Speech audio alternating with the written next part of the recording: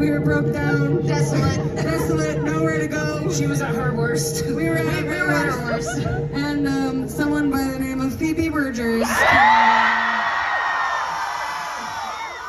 And uh, agreed to sign us to her label, and then she put out a song with us. And, uh, this is that song. It's called Silk Chiffon.